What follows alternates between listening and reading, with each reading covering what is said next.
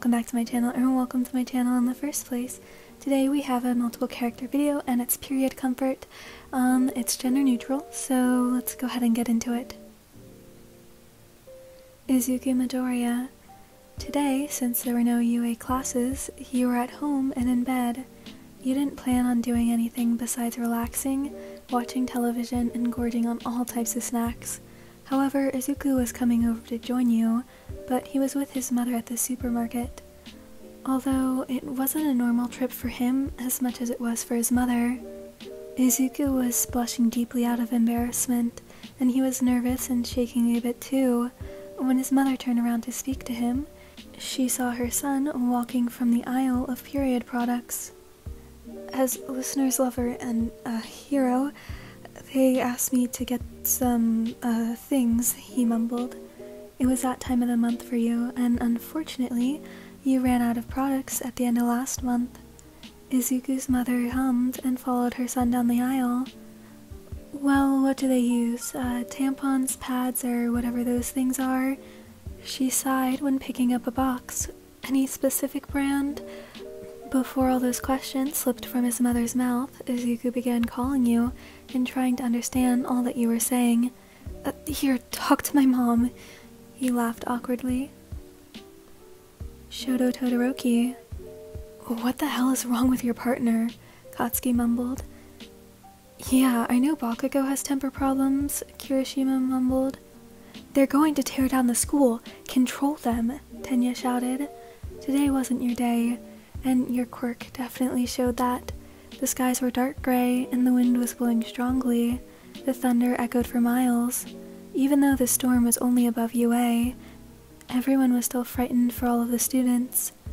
I'll go talk to them, Shoto sighed. Thankfully, all the students were indoors, for it was lunchtime. You weren't in the cafeteria yet, so Shoto went off to go and find you. Has anyone seen Listener? Shoto asked. There was a group of girls, Momo, Mina, and Tsu, in front of the bathroom, and they were digging through their bags. Yeah, she's in there. Don't worry, we got it under control. The one day I don't bring anything. After Mina pulled out something wrapped in a pink cloth, Shoto watched her rush into the bathroom. Once the girls left, he waited outside the bathroom for you.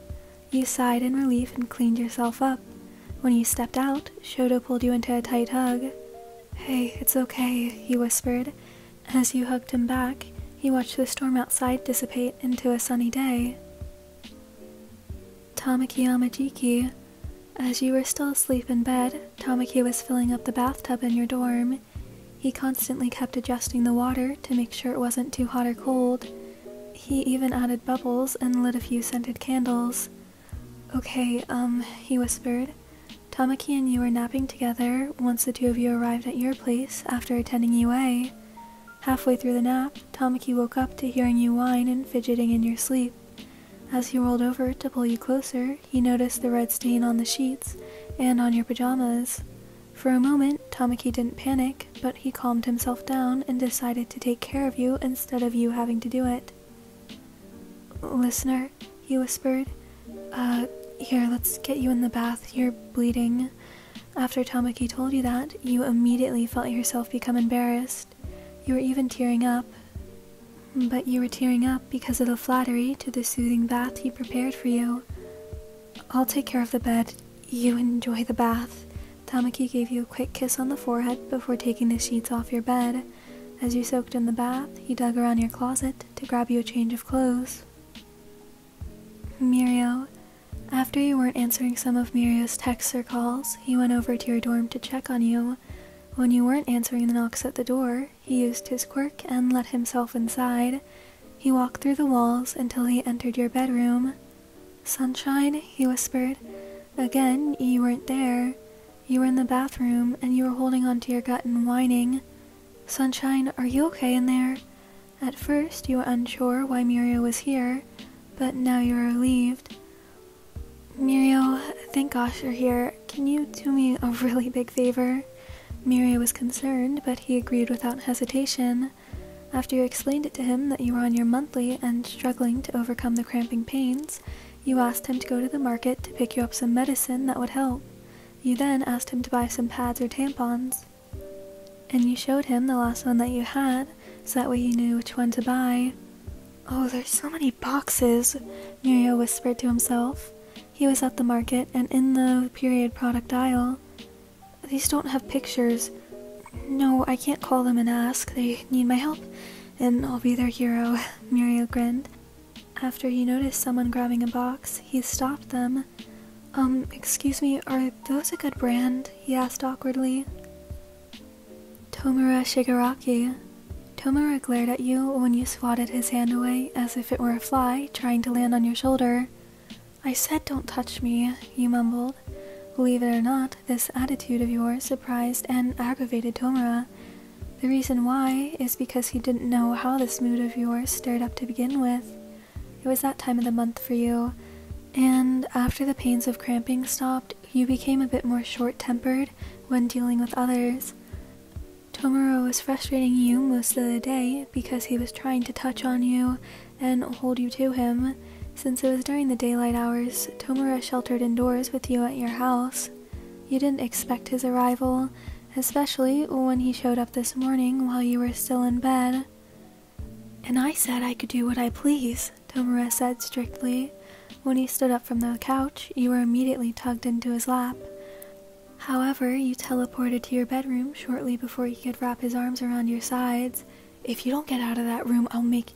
When you appeared beside him and sat back on the couch, you sighed and rested your forehead on his shoulder. I'm on my period, you whispered. Just stroke my hair and be nice. Without saying anything, Tomura slightly smirked and used his fingertips to gently scratch at your head, and that made you smile and relax. Dabi, unfortunately, you started your monthly cycle last night. The cramps were terrible, and you didn't expect so much in a short amount of time. Thankfully, you had the products you needed. As the next day went on, you didn't feel like doing anything. The pain in your sides and gut caused you to remain in bed all day and do nothing but sleep. With that being said, Dabi showed up at your apartment after you weren't answering his calls. He knew you didn't have any villainous plans because you would have told him beforehand. Once he snuck into your apartment, he walked around and searched the room. He found you, but you were curled up in bed and groaning. Surprisingly, Dabi knew what that meant. When you felt the bed sink in, your eyes popped open immediately, but then they softened when you looked back at Dabi. What are you doing here? Don't worry about that he mumbled while he started to massage your lower back and your sides. You felt yourself relax into him. Tell me what you're doing this for, you hummed. Dabi pulled you close in a spooning position, but then groaned faintly.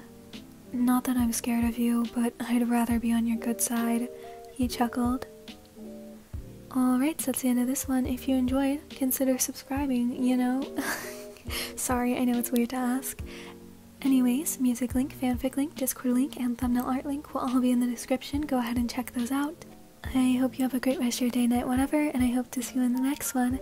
Goodbye!